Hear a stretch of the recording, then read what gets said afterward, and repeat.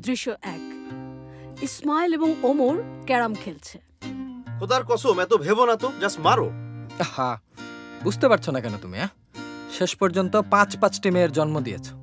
আর তোমার কোনো সঞ্চয় অবশিষ্ট নেই। কারণ তুমি মেশিন চালাও আগে আর তারপর তা নিয়ে চিন্তা করো।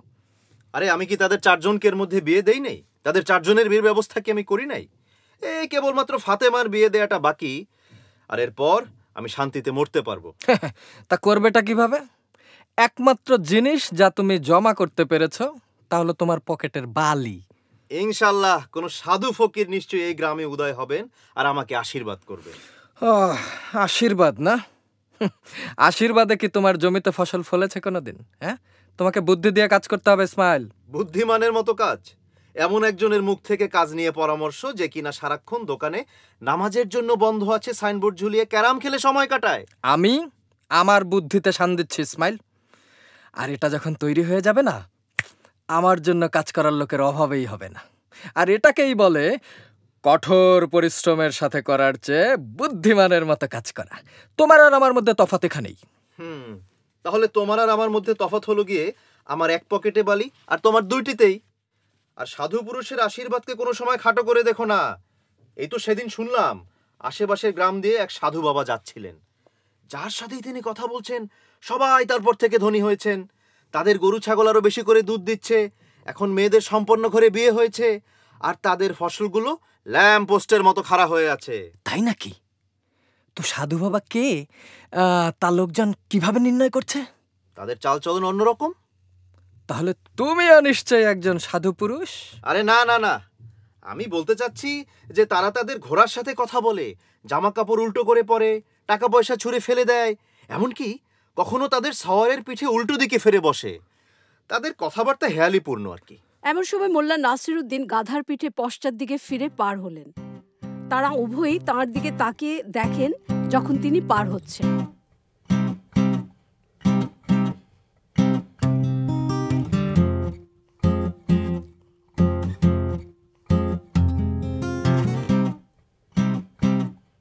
তুমি বলতে চাচ্ছ ওই যে দেখো এই এই- লোকের মতো।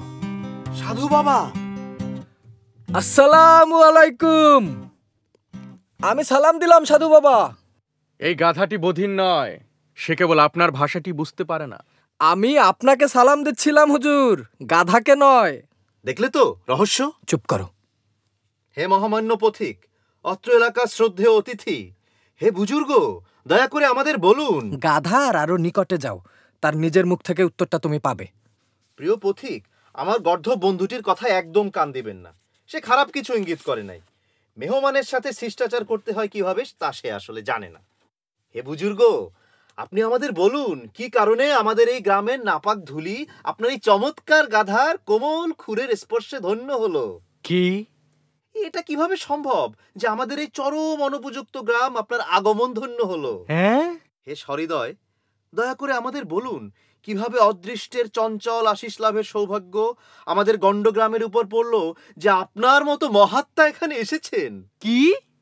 আসলেই এখানে কি মনে করে? ও আচ্ছা আমার একটা থাকার জায়গা প্রয়োজন। পয়সা করি আছে? এক করিও নেই। ওই যে পথে পথে ডাকাতের খপ্পরে পড়েছিলাম। তাহলে পথ দেখুন। ইসমাইল ওমরকে এক পাশে টেনে নিল। আহ ওমর এসব সাধুদের কথা বলার রকম সকম তুমি আসলে বুঝো না। পথে ডাকাতি হয়েছে মানে হলো জীবনের পথে কারও অহম অপরিত হওয়া। আর কোনো টাকা পয়সা না থাকা মানে হচ্ছে এই পার্থিব জীবনের কোনো মূল্য না থাকা। তার মানে তুমি বলছো সে যখন বলে সে ডাকাতের খপ্পরে পড়েছে তার অর্থ হলো সে আসলে পড়েনি? একদম। আ আর যখন সে বলে তার কাছে কোনো টাকা পয়সা নেই তার অর্থ আসলে তার কাছে টাকা আছে? হ্যাঁ। আই তো! তাহলে তোমার বাড়ির একটা কামরা তাকে ভাড়া দিয়ে দাও। ইসমাইল নাসিরুদ্দিনের দিকে ঘুরে দাঁড়াল। মহাত্তন যদি আমার সামান্য পর্ণকুটিরে আপনার মতো রাজপুরুষের যোগ্যতার পক্ষে অনুপযুক্ত না হয় তবে আপনার চরণ কমলের ধুলি আমার নগণ্য ভিটায় পড়ুক। আর আপনার অবসন্ন মস্তক একান্তই আমার বালিশে একটু বিশ্রামের কসুর করুক। কি? আজ্ঞা করুন এই সামান্য আবাসস্থল যাকে আমি আমার বাড়ি বলে থাকি তা আপনার দ্রুত তার মুখ থেকে কথা কেড়ে নিয়ে। মানে সে বলছে যে তার একটি কামরা ফাঁকা আছে। বেশ বেশ বেশ তাহলে আমাকে সেখানে নিয়ে চলুন। ইসমাইল তাকে মঞ্চের বাঁ দিকে কক্ষটি নির্দেশ করল। এই হলো সেই ঘর প্রিয় সায়ক বাহ চমৎকার।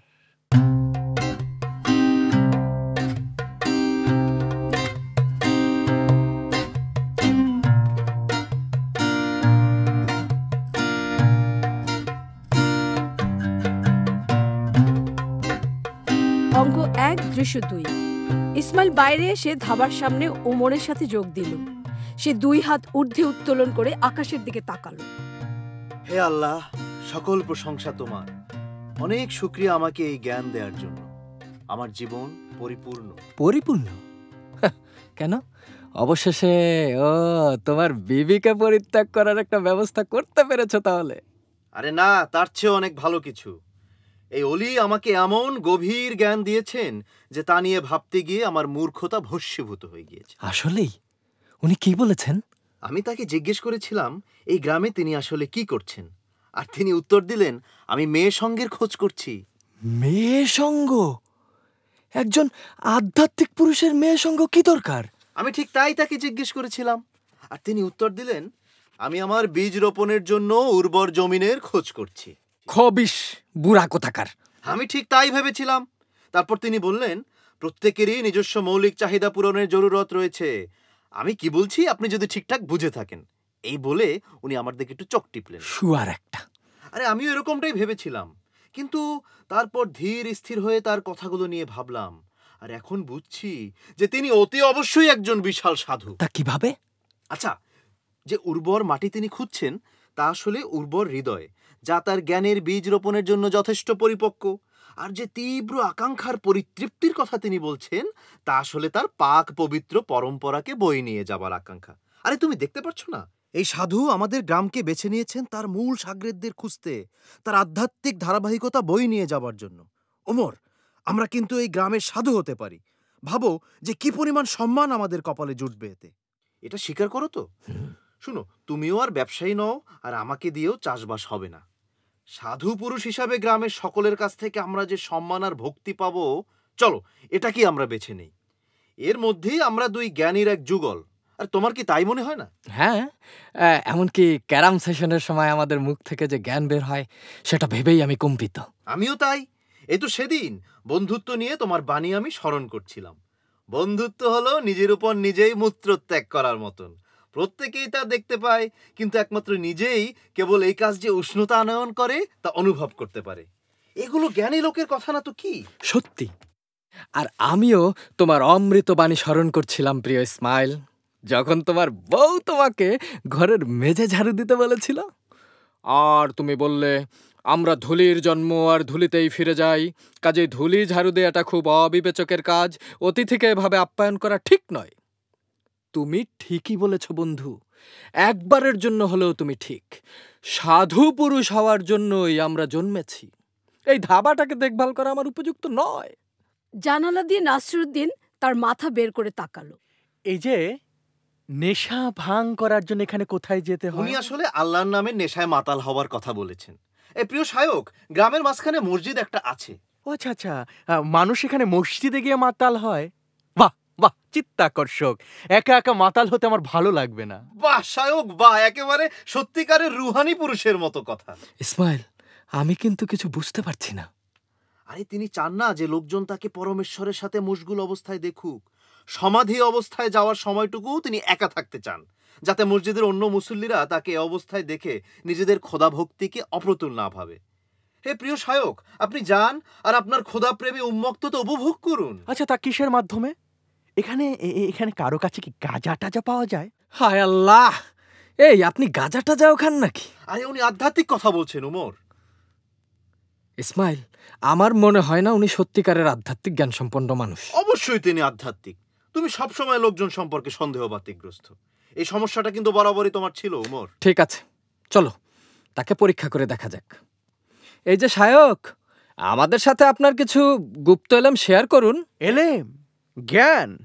আমি আসলে কিছুই জানি না। দেখলে ইসমাইল তিনি কিছুই জানেন না। উমর তুমি কি কোনোদিনই কিছু শিখবে না? আমি কিছু জানি না মানে হলো আমি একটা শূন্য গর্ভ মাধ্যম যার মাধ্যমে আল্লাহ কথা বলেন। আমার নিজস্ব কোনো কথা নেই। আচ্ছা আচ্ছা যাই হোক আপনাদের বিরক্ত করলাম। এখানে যদি পান করার মতো কিছুই না থাকে তাহলে আজকে রাতের জন্য ক্ষান্ত দেই। হে প্রিয় সায়ক আমি আপনাকে কথা দিচ্ছি আমাদের গ্রামে আপনি পান করার সুযোগ পাবেন। আচ্ছা? আমরা আপনাকে হতাশ করব। বাহ। আসলে আপনি যদি আমাদের দুজনকেও কীভাবে আপনার সাথে খোদার প্রেমে মশগুল হতে হয় তা একটু শিখিয়ে দিতেন। বাহ বাহ বাহ বাহ, বেশ বেশ বেশ। একটা ভালো দলের সাথে পানোৎসবের মতো ভালো কিছু হতেই পারে না। আমার মনে হয় আপনার এটাকে উরস বলে থাকেন। আপনার যা খুশি বলতে পারেন। তাহলে চলে আসুন আমাদের দেখিয়ে দিন কীভাবে সেই পাক পবিত্র পরমাত্মার সাথে মত্ত হতে হয়। আচ্ছা আচ্ছা আচ্ছা আসছি।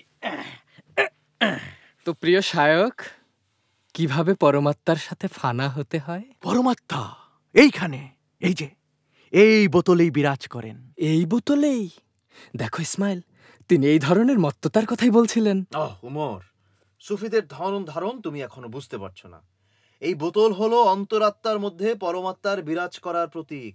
আমাদের শায়ক বলছেন যে দৈব ভ্রূণ আকারে আমাদের আত্মায় বিরাজ করেন তাকে বাহিরে অবমুক্ত করতে হবে যাতে সমগ্র জগৎ সংসারে প্রেম ছড়িয়ে পড়ে। কাজী এই বোতল আমাদেরকে খুলতে হবে দৈবকে মুক্ত করতে। তাই নয় কি প্রিয় শেখ? একদম ঠিক। আমাদের বোতল অবমুক্ত করতে হবে আর দিব্যকে আমাদের অন্তরে ঠাই করে নেওয়ার জন্য। কি সুন্দর! চলুন আমরা আমাদের সেই পাক পবিত্রতায় পূর্ণ করি। পরমানন্দে পান করে মাতাল হই। মাত মাথা পাগল করে মাতাল হও। চিয়ার্স প্রিয় শেখ এরপর আমরা কি করব? এরপর? হ্যাঁ এরপর? তা পরিষ্কার নয় কি? আমরা আরও কিছুটা পান করব আর তুমি টেবিলে দুটি বোতল প্রত্যক্ষ না করা পর্যন্ত পান করতে থাকো। চিয়ার্স দুইখানা বোতল একটা হলো আল্লাহ আরেকটা আমাদের অহম। ঠিক নয় কি হে আমার শেখ? তুমি যদি তাই মনে করো তবে তাই। আমি আমি কিন্তু দুইখানা বোতল দেখছি শেখ। এখন আমি কি করব? চারখানা না দেখা পর্যন্ত তুমি পান করতে থাকো। ইব্রাহিম বন্ধ করো না। শেখ আমি উমর। এটা লম্বা সফরের পথ। আমাদের মাঝ পথে থামলে চলবে না।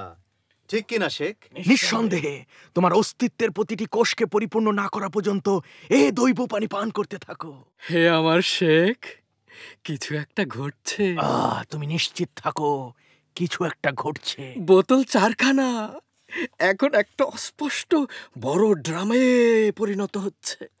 উমর এটা হলো সেই জিনিস যাকে সুফিরা বলে থাকেন ফানা সেখানে একজনের নিজস্ব সত্তা আল্লাহর সাথে লীন হয়ে যায়। ঠিক নয় কি শেখ? যদি তুমি তাই বলো তবে তাই। এখন এই দিব্য পান করতে থাকো যতক্ষণ না সবকিছু তুমি আমি আর এই ইব্রাহিম আর এই বিশাল বোতল একটা বিরাট ঘোলাটে সত্তায় পরিণত না হয়। আমি উমর শেখ। ও আমার শায়ক এটা অসাধারণ সুন্দর। আমরা সব কিছুর সাথে এক হয়ে যাচ্ছি সমস্ত দুনিয়া ঘুরছে আমি ঘুরছি আপনি ঘুরছেন। আমার নিজেকে সেসব ঘূর্ণায়মান দরবেশদের একজনের মতো লাগছে। এখনই থেমো না বন্ধুরা। ঘুরতে থাকো যতক্ষণ না গুত্তা খেয়ে পড়ো।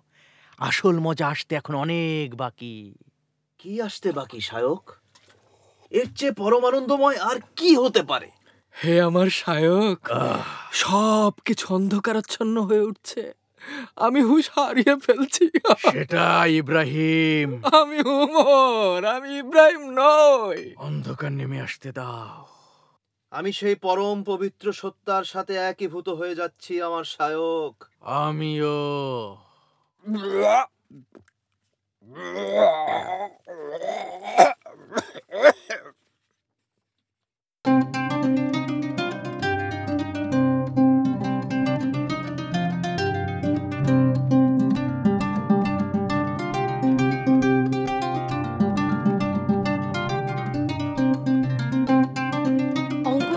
দৃশ্য তিন ওমর তার হাতে মাথা রেখে বসে আছে। ইসমাইল প্রবেশ করে আর তার হাত দিয়ে মাথা ধরে বসে পড়ে। খুব বাজে লাগছে। আমি আমি কোনোদিন ভাবিনি আধ্যাত্মিক অভিজ্ঞতা এমন তীব্র হতে পারে। এখন বুঝতে পারছি সুফিরা যখন বলেন কুয়ার অভিমুখে যাত্রা খুব কঠিন তা দ্বারা আসলে কি বুঝান? ইসমাইল বাছা আমরা কি গতরাতে সেই কুয়া থেকেই পান করেছি নাকি? আলবত উমর সেই কুয়া থেকেই আমরা পান করেছি।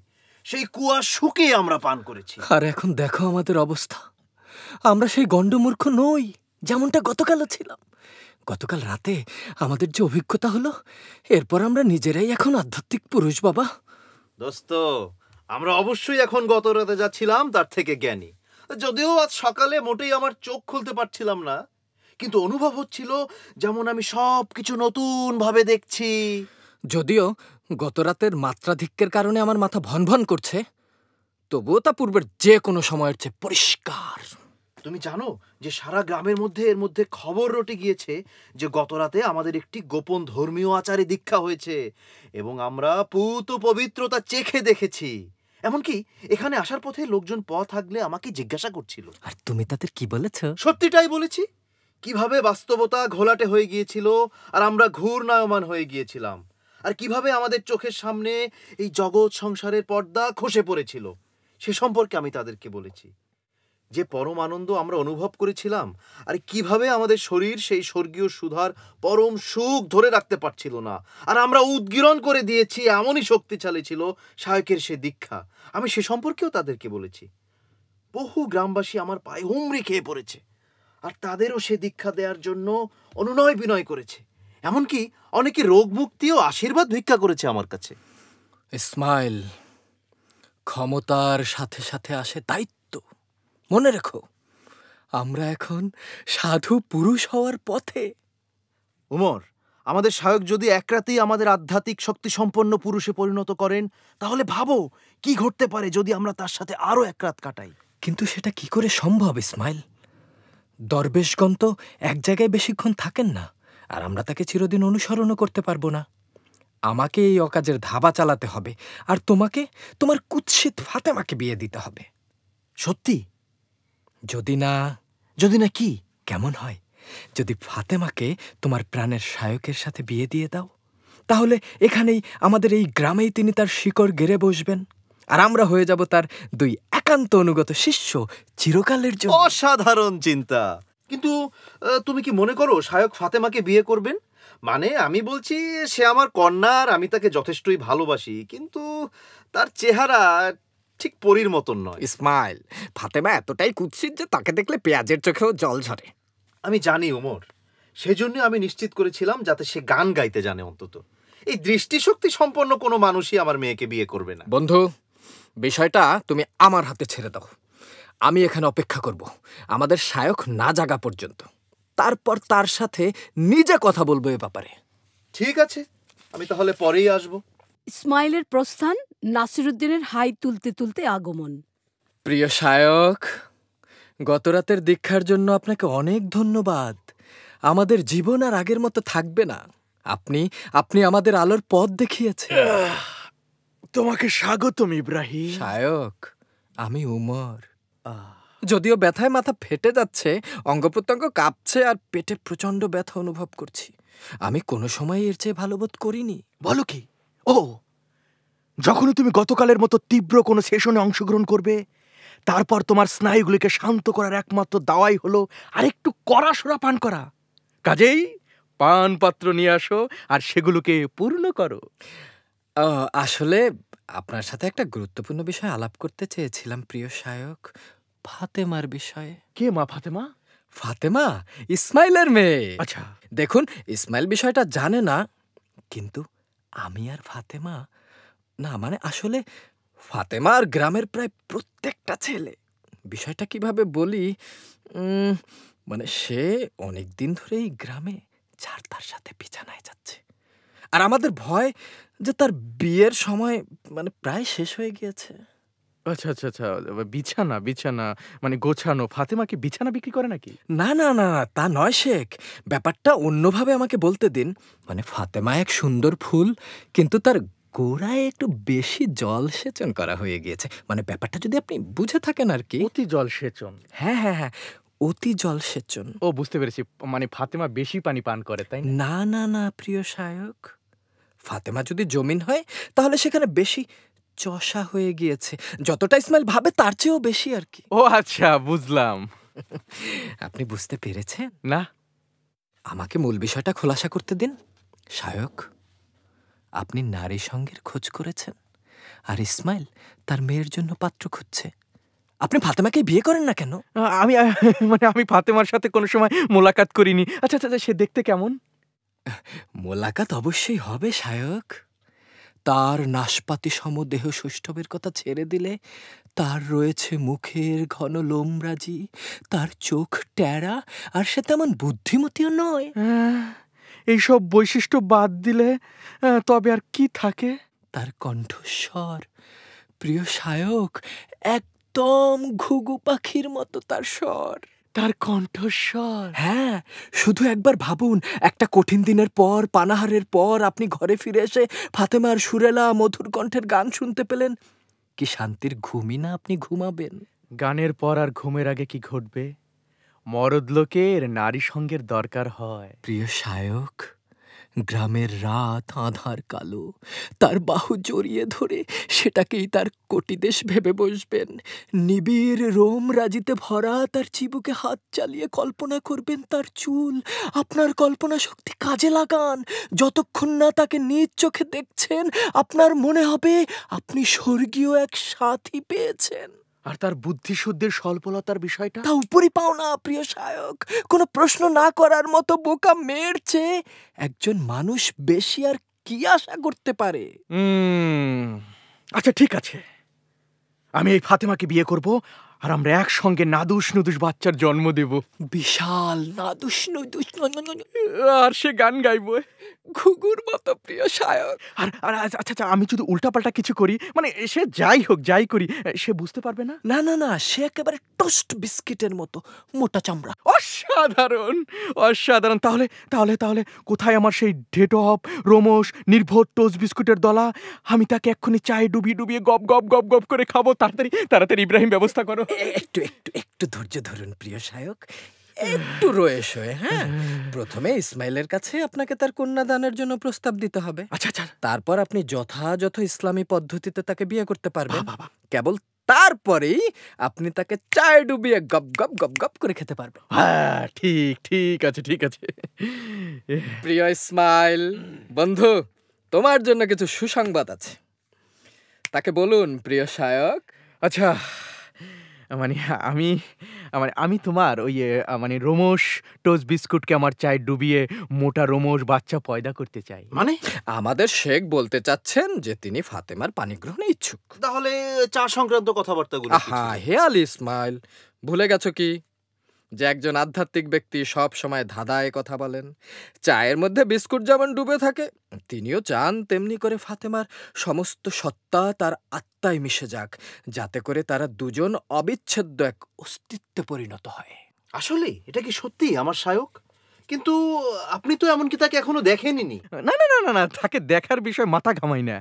গ্রামে যখন অন্ধকার নেমে আসবে আমি তার বাহুদেশ অনুভব করব আর তার রোমশ চিবুকে হাত বুলাবো। তা অসাধারণ! কিন্তু আপনার কি আমার স্ত্রীর সাথে সাক্ষাৎ হয়েছে? না হয়নি। কিন্তু সেই একই কথা আমি আপনার মেয়েকে বিয়ে করতে চাই। কি? আহ আনুষ্ঠানিকতার কথা বাদ দাও। ইসমাইল যদি ফাতেমাকে তোমার বিক্রয়যোগ্য ফসলের সাথে বিনামূল্যেও দিয়ে দাও তাহলেও তাকে মাগনা মাল হিসাবে চালানো সম্ভব না বন্ধু। তাই দ্রুত প্রস্তাবটা গ্রহণ করো। আচ্ছা আচ্ছা। হে প্রিয় শায়ক আমার কন্যা আজ থেকে আপনার। শুভ বিবাহের জন্য যে কোনো শুভ সময় নির্দেশ করুন। আহ চায়ের সময়।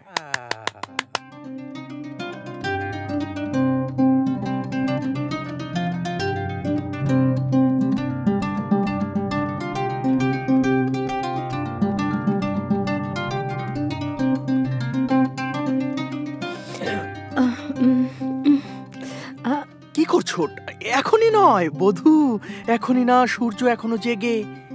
আমি বুঝতে পারছি না কিছু। কারণ তুমি টোস্ট বিস্কুট। Toast biscuit? হ্যাঁ হ্যাঁ তুমি ঘোমটা খোলার আগে সূর্য অস্ত যেতে হবে। কেন? কারণ তুমি একটা রোমস নাশপাতি। ও তারা আমাকে বলেছে যে আধ্যাত্মিক লোকেরা ধাঁধাপূর্ণ কথা বলে। কিন্তু আমি একটা অক্ষরও বুঝতে পারছি না। কেবল তোমার জামার হাতাটা গোটাও আর সূর্য ডোবার জন্য অপেক্ষা করো। আমার হাতা? হ্যাঁ তারপর তারপর আমি আমি তোমাকে চায়ে ডোবাবো আর গপ গপ করে খাব। সে পর্যন্ত তুমি গান গাইতে থাকো প্রিয়। গান গাইবো? হ্যাঁ গাও। আমি বন ফুল চান্দে চান্দে দোলে আনন্দে আপনাকে আমি একটা প্রশ্ন করতে পারি? নিশ্চয় আপনি কি কোনোদিন আহ, মদ খেয়েছেন? আহ, ধূমপান করেছেন বা আহ, মেয়ে লোক স্পর্শ করেছেন? না না না না না। তেরো বছর বয়স পর্যন্ত নারী সঙ্গে তো দূরের কথা। আমি কোনো মদ কোনো পানীয় গ্রহণ করিনি। ও সত্যি? বা খুবই চমৎকার। হ্যাঁ তারপর তেরো বছর বয়স পর থেকে আমি সব শুরু করেছি। কি করতে গিয়েছেন? তুমি গেয়ে যাও প্রিয় তুমি গাইতে থাকো। গাইবো? আচ্ছা ঠিক আছে। আমি বন ফুল গো চান্দে চান্দে দুলি আনন্দে আমি বন ফুল সূর্য অস্ত গিয়েছে কিন্তু চাঁদ এখন উজ্জ্বল। এটা ভয়ঙ্কর।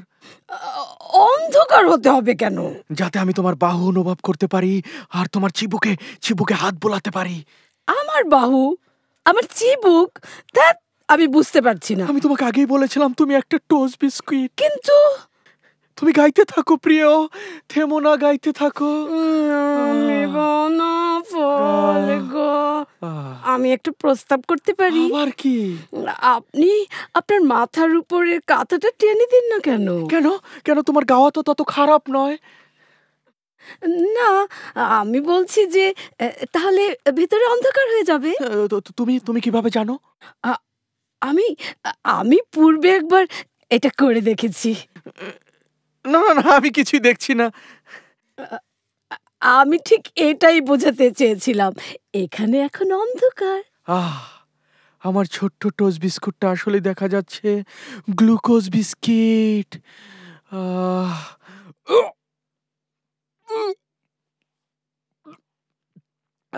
তোমার ঠোঁটগুলো এখন পর্যন্ত আমার চেখে দেখা ঠোঁটগুলোর মধ্যে সবচেয়ে মিষ্টি। এগুলো তো আমার বগল ও বগল। আচ্ছা এখনও পর্যন্ত চেকে দেখা বলতে আপনি কি বোঝাতে চাচ্ছেন? মানে মানে আমার ঠোঁটের আগে আপনি আর কারও ঠোঁট স্পর্শ করেননি তাই না? অবশ্যই অবশ্যই। সেগুলোই প্রথম অবশ্যই সেগুলো প্রথম। আহা এখন পর্যন্ত সবগুলোর মধ্যে এগুলোই সবচেয়ে বেশি মিষ্টি। তাহলে আপনি চুপ করো প্রিয় তুমি গাইতে থাকো। মোল্লা আহ, হানিমুনে আমরা কোথায় যাচ্ছি? আমরা মালদ্বীপ যাচ্ছি। মালদ্বীপ? ও, দারুণ। আমার সারা জীবনের শখ ছিল মালদ্বীপ দেখা। নিশ্চয়ই। আমার প্রচুর ফটো তুলবো তোমাকে দেখানোর জন্য। আপনি কি বলতে চাচ্ছেন? আপনি বলছেন যে আমি আপনার সাথে যাচ্ছি না? অবশ্যই তুমি যাচ্ছ না। আমরা দুজনে চলে গেলে ঘর বাড়ি কি দেখবে বলো? মোল্লা! প্রিয় গাইতে থাকো। না আর কোনো গান নয়। আহ!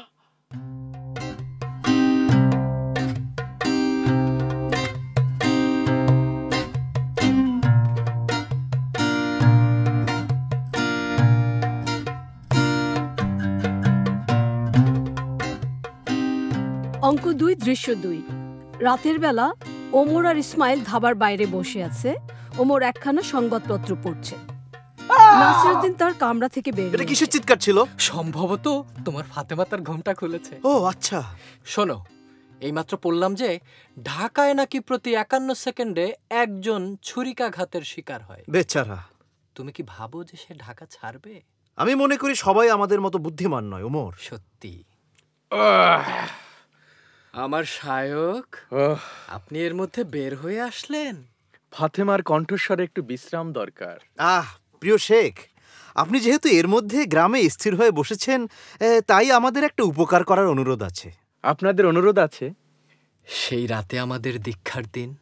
আপনার আধ্যাত্মিকতা আমাদের কাছে প্রকাশ করার পর থেকে সারা গ্রাম আমাদের এখন ইজ্জত করছে। একদম ঠিক কথা প্রিয় শেখ। লোকজন আমাদের উপর নির্ভর করে আর পরামর্শ চায়। কিন্তু আমাদের তো দেওয়ার কিছুই নেই। কতগুলো করে আশীর্বাদ আমরা বিতরণ করতে পারব বলুন? দয়া করে আপনার কষ্টার্জিত জ্ঞান আমাদের সাথে ভাগ করুন। আমার জ্ঞান? আমার তো কোনো জ্ঞান বুদ্ধি নেই। ওমর ও ইসমাইল উভয় সম্মতিসূচক মাথা নাড়ে তাদের ওস্তাদের বিষয়ে গর্বিত হয়ে। শুনতে পেলে কি ওমর? আমরা এমন এক শিক্ষক আর কোথায় পাবো যিনি কিনা দাবি করেন তার কোনো জ্ঞানই নেই। আধ্যাত্মিকতার বাজার ভুয়া সাধু ফকিরে বোঝাই সবাই দাবি করে তাদের জ্ঞান আছে কিন্তু আসল সাধুরা সব সময় তাদের জ্ঞান গোপন করেন। যিনি জানেন তিনি আসলে জানেন না। আর যিনি জানেন না তিনি আসলে জানেন। তারা নাসিরুদ্দিনকে কুর্নিশ করে। কি? সত্যি বলতে আমি শুধু জানি কীভাবে পান করতে হয়। সেটাই আমরা চাই প্রিয় সে। আমাদেরও শিখিয়ে দিন সেই দৈবকে কীভাবে পান করতে হয়। না না না না না, আমি মাতাল হওয়ার কথা বোঝাচ্ছি। আমাদের এত উঁচুতে নিয়ে যান যেন আমরা সেখান থেকে অনেক নিচুতে আমাদের অজ্ঞানতার মেঘমালা দেখতে পাই। আপনার স্বর্গীয় বাণী আমাদের জ্ঞাত করুন প্রিয় শেখ। আপনার কাছে আমরা ভিক্ষা চাই। আচ্ছা ঠিক আছে ঠিক আছে। কিন্তু দুনিয়ার পথ সংযমী সুশৃঙ্খল এবং প্রকৃতস্থ। আর স্বর্গীয় রহস্যের পথ সুউচ্চ দুর্গেয় অনভিগম্য। কাজে আমাদের সবার আগে চিন্তাশীল মনকে শান্ত করতে হবে। প্রিয় শেখ চিন্তাশীল মনকে শান্ত করানোর গোপন পথ বাতলে দিন। এটাকে সম্পূর্ণভাবে অনুভূতি শূন্য করার মাধ্যমে করতে হবে। মনকে অনুভূতিহীন করা? আচ্ছা আচ্ছা ওই বোতলটা আমার কাছে চালান করো। আহ, এই যে। তোমরা এই বোতলটা দেখতে পাচ্ছ? সাধারণ মানুষের কাছে এটা একটা বিষের বোতল। যারা পান করে তারা জীবনে নানা কিছু ভুলে থাকার জন্য। যেমন ধরো কুচ্ছিত বউয়ের কথা। কিন্তু একজন আধ্যাত্মিক পুরুষের কাছে এটা দোজকের সংস্পর্শে আসার জানালা। দোজখের জানালা? হ্যাঁ।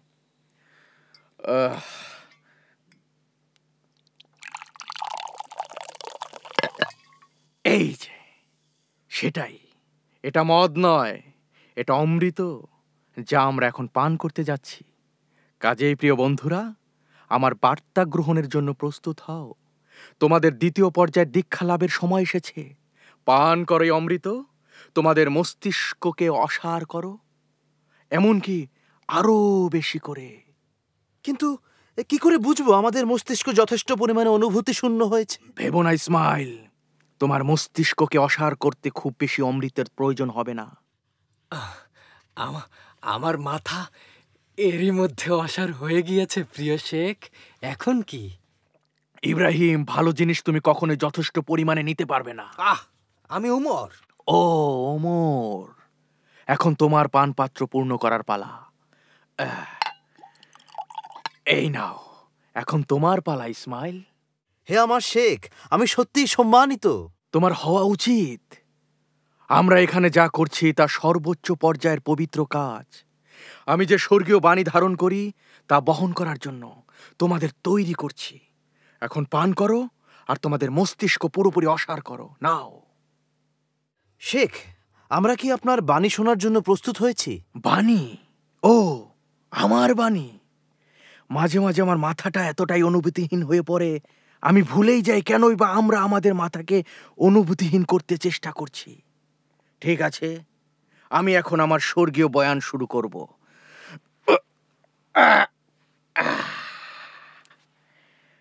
আমি মোল্লা নাসির উদ্দিন অগণিত দেশের পরিব্রাজক। এই প্রান্তরের এই গ্রামে পৌঁছেছি সেই স্বর্গীয় বার্তা যা আমার অন্তরে ধারণ করেছি সারা জীবন ধরে, তা পৌঁছে দেওয়ার জন্য। তোমরা দুজন, ইব্রাহিম ও ইসমাইল আমার সবচেয়ে নিকটবর্তী। জানো কি সেই বার্তা? কি? জানো না? আহ, তোমরা জানো না? ও আচ্ছা তাহলে আমার একেবারেই বলার কিছু নেই। প্রিয় শেখ আমাদের আরেকটা সুযোগ দিন। হ্যাঁ প্রিয় শেখ দয়া করুন। ঠিক আছে। আমি মোল্লা নাসিরুদ্দিন অগণিত দেশের জাহান নামে যাও। তোমরা জানো আমি কে আর কেন এখানে? তোমরা জানো আমার স্বর্গীয় বার্তা কি? হ্যাঁ। না। কে? হ্যাঁ আমি জানি। না আমি জানি না। আহ, অসাধারণ। যদি তাই হয় ইসমাইল তাহলে তুমি ইব্রাহিমকে আমার বাণী সম্পর্কে বলো। ওয়াও! ওয়াও ওয়াও আসলেই সুফিদের ধরন ধারণ বুঝতে পারা কঠিন। ওমর এর পিছনে নিশ্চয় কোনো গোপন অর্থ থাকবে। কিন্তু আমি তা বুঝতে পারিনি। উনি হয়তো আমাদের কোনো বার্তাই দেননি অথবা অন্য কি? সম্ভবত উনি সত্যিই আমাদের কোনো বার্তা দিয়েছেন আর আমরা তা বুঝতে পারিনি। সম্ভবত তা বোঝার জন্য আমাদের মাথা যথেষ্ট পরিমাণে অসার হয়নি। ইসমাইল সম্ভবত আমরা খুব চালাক। তুমি ঠিক বলেছ ওমর। চলো চলো আরেকটু পান করা যাক। দেখি যদি আমরা আরেকটু বোকা হতে পারি আর কি। হ্যাঁ আমাদের আরেকটু বোকা হওয়া দরকার। এই নাও আমাদের মস্তিষ্ককে সম্পূর্ণভাবে অসার করার জন্য। ইসমাইল আমাদের আরও বোকা বানাবার জন্য। Cheers cheers Ibrahim. আমি উমর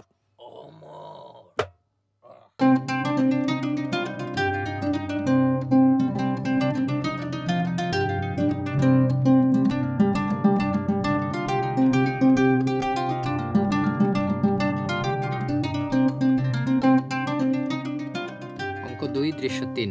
নাসিরুদ্দিন আর ফাতেমা বিছানায় শুয়ে। প্রিয়? তুমি জানো কতদিন হলো আমাদের বিয়ে হয়েছে? চার সপ্তাহের মতো হবে। ঠিক কত সময়? তোমার মনে নেই? আমি জানি চার সপ্তাহই হবে। তুমি কি এরকমই? ঘুমিয়ে পড়ো। আমি পারছি না ঠান্ডা লাগছে। আচ্ছা তাহলে উঠে গিয়ে আগুন জ্বালাও। তুমি আমাকে আর ভালোবাসো না। কি বলতে চাও? আমাদের বিয়ের প্রথম দিকে প্রতি সকালে তুমি উঠে গিয়ে আগুন জ্বালাতে। আর এখন তুমি প্রতি সকালে আমাকে আগুন জ্বালাতে বলো। ফালতু। তুমি আগুন জ্বালালে মানে তুমি যে আগুন জ্বালাতে উঠলে তোমাকে আমার অনেক বেশি ভালোবাসতে ইচ্ছে করে। বিছানা থেকে ওঠার পক্ষে আমার খুব শীত করছে। আমাকে উষ্ণ করার জন্য তুমি আমাকে আরও আদর করতে পারো। ঠিক আছে। কোথায় যাচ্ছ? আমাকে সেই আগুনটা জ্বালাতে দাও। বিয়ের শুরুর দিকে তুমি আমাকে যেমন আদর করতে সেরকম এখন আর করছ না। কালকে আমার খুব ব্যস্ত দিন যাবে তুমি এখন ঘুমো আগে তুমি কত রোমান্টিক ছিলে।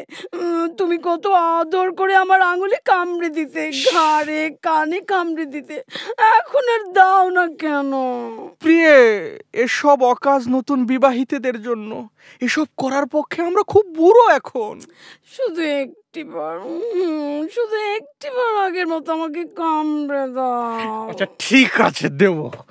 কোথায় যাচ্ছ তুমি? কেন? তোমাকে কামড়ানোর আগে দাঁত মাজতে হবে না?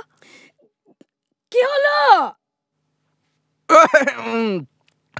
প্রিয় তো তোমার ওই চেহারাটা ভালো করে মনে আছে? কেন? না মানে হয়েছে কি ওই এই মাত্রই মানে হাত থেকে পড়ে আয়নাটা ভেঙে গেল কি না তাই? কি? আমার জন্মদিন এটা খুবই একটা অশুভ সংকেত। আর এই ব্যাপারে বলতে গেলে আচ্ছা তুমি আমার জন্য কোনো উপহার আনোনি কেন? তুমি আমাকে আনতে মানা করেছিলে। কখন আমি তোমাকে আনতে মানা করলাম? ওই যে তুমি বলেছিলে না কোনো কিছুই আমাকে একটা হীরার হারের চেয়ে বেশি খুশি করবে না। কাজে আমি নিশ্চিত করেছি যে তোমার জন্য কিছুই আনব না। মোল্লা আজকের দিনে তোমার উচিত অসাধারণ কিছু করা আর আমাকে চমক দেওয়া। অসাধারণ? আর চমক? আচ্ছা আহ, আমি তোমার কাজিন পুষ্পার সাথে শুতে পারি? কি? ঠাট্টা করছি। এটা ঠাট্টা ছিল না। তুমি পুষ্পার প্রেমে পড়েছো নিশ্চয় আমি পুষ্পার প্রেমে পড়িনি। যাচ্ছ কোথায়? কোথায় যাব আবার? কুয়ায় ঝাঁপ দিতে? যথেষ্ট হয়েছে। না না না না ওটা করো না ওটা করো না। কেন করব না? বলো আমাকে কেন করব না? তাহলে আমাকেও তোমার সাথে ঝাঁপ দিতে হবে। আর সেখানে খুব ঠান্ডা। তুমি বরং তুমি বরং গলায় দড়ি দাও। তুমি এটা করতে পারো না এটা করতে পারো না। কেন করা উচিত নয়? এর পেছনে একটা কারণ দেখাও। আমি বলছি না উচিত নয়। আমি আমি আমি বলছি যে তুমি তা করতে পারো না। ওই যে ওই যে দেখো ওই শালটা শালটা গিট দেওয়ার পক্ষে খুবই পুরো। এর পরিবর্তে কাজ করো। হ্যাঁ, হ্যাঁ, এই এই উন্নাটা ব্যবহার করতে পারে। নাও নাও নাও এটা নাও এই নাও। তুমি আমাকে ঘৃণা করো। আমি খুব বুঝতে পারছি তুমি আমাকে ঘৃণা করো। এতে কাজ হবে না। যদি এর অর্থ এই হয় তবে তোমার নিষ্ঠুরতা আমাকে আর দেখতে হবে না। তাহলে অবশ্যই এতে কাজ হবে। না না না না না। না আমি বলছি কি এই টুলটা যথেষ্ট নয়। এটা তোমার কাজে আসবে না। আচ্ছা তুমি তুমি এক কাজ করো। কাজ- এই যে এই যে এই আমার এই কাঁধে চড়ে বসো। আসো আসো আসো। এই উঠো উঠো উঠো। দেখেছ? আর তুমি বলো কিনা আমি তোমাকে কোনো কাজে সাহায্য করি না। পেরেছ? ভালো করে গিট দাও। শেখ ও শেখ। আমাদের রোববার সকালের খেলার সময় হয়ে গিয়েছে উঠে পড়ুন। প্রিয়তমা প্রিয়তমা নামো নামো। তুমি কাজটা অন্য কোনো দিন করতে পারো। আমার খেলার সময় হয়ে গেছে আমি যাচ্ছি। কিন্তু তুমি বলেছিলে আজকের দিনে তোমার খুব ব্যস্ততা। হ্যাঁ ব্যস্ততা আছে। ওই যে যে আমার ছেলেদের সাথে ক্যারাম খেলার ব্যস্ত থাকব।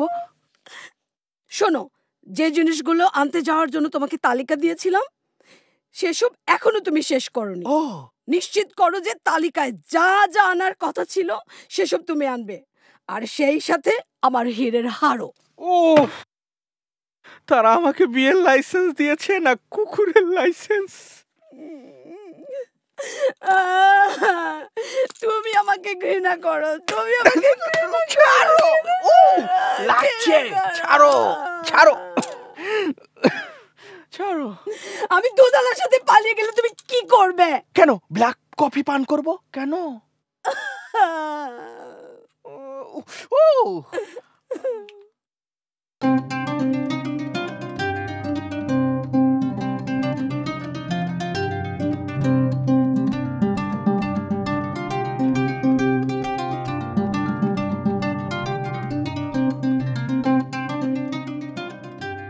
অঙ্ক দুই দৃশ্য চার ওমর আর ইসমাইল ধাবার বাইরে বসা ক্যারাম খেলার জন্য প্রস্তুত। আমি আগেই বলেছি বয়সের সাথে সাথে প্রজ্ঞা আসে না। বিয়ে না করা পর্যন্ত একজন মানুষ পরিপূর্ণ নয়। আর তারপর? সে খতম। কি বাজে বকছো হ্যাঁ? আমি একজন মহিলার সাথে দশ বছর প্রেম করছি। আর আমি এর চেয়ে বেশি পরিপূর্ণ কোনো সময় অনুভব করিনি। তোমার স্ত্রী কি জানে তার সম্পর্কে?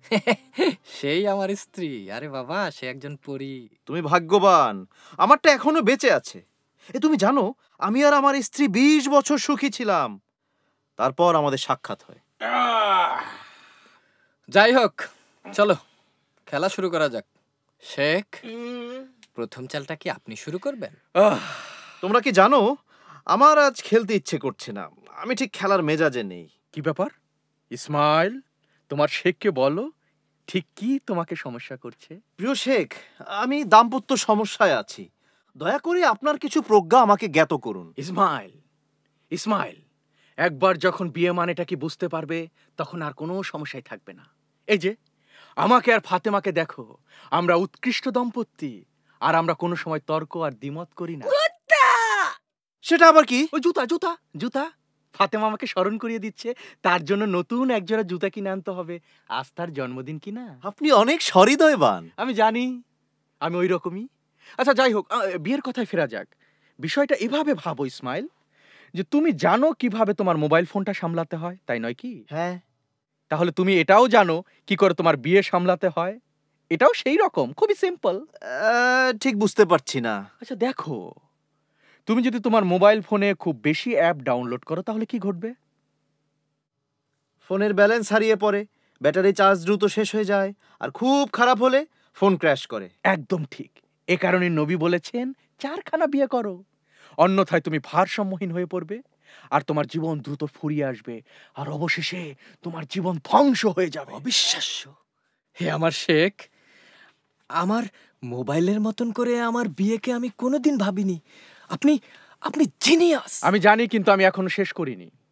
তুমি চুক্তি ভিত্তিক অথবা যত ব্যবহার তত খরচ যে কোনো একটা বেছে নিতে পারো। ঠিক? যত ব্যবহার তত খরচ হলো ডেটিং এর মতো। আর তুমি তোমার সরবরাহকারী বদলাতেও পারো। কিন্তু যতবার তুমি তা করবে ততবার তোমাকে চুক্তি পাল্টাতে হবে। কিন্তু কেন? সেটা করতে আমার খুব খারাপ লাগে। কেন? কারণ তোমার স্ত্রী চায় না তোমার পুরাতন বান্ধবীর সাথে যোগাযোগ রাখো। ও। আর চুক্তি? চুক্তি হলো বিয়ের মতো। একবার যখন তুমি চুক্তিতে প্রবেশ করবে, তোমাকে সে অনুযায়ী দাম পরিশোধ করতে হবে। পিছিয়ে আসা সম্ভব নয় একেবারে। কাজেই তোমাকে চুক্তি বাঁচতে হবে বিজ্ঞতার সাথে।